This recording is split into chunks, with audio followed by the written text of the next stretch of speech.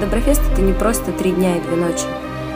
А это прежде всего атмосфера незабываемого веселья, радости, добра, позитива, братства и гармонии. Причем гармонии не только с музыкой, с природой, а с людьми, но и прежде всего гармонии с самим собой. Того шквала эмоций, которые ты испытываешь за эти дни, тебе хватит на год вперед. Это бешеная энергетика, а, ну, это нужно чувствовать.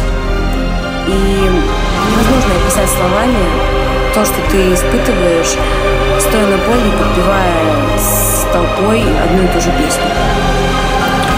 Именно тогда, стоя в толпе среди абсолютно незнакомых тебе людей, ты понимаешь, что ты не одинок. Лёг. Ты любишь рок? Да. Значит, мы поедем летом на Доброфест? Да. За что я люблю Доброфест?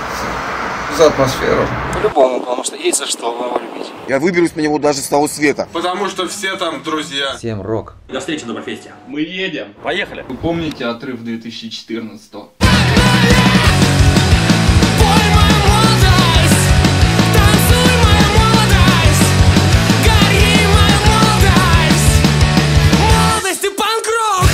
Доброфест, ребята, приходите!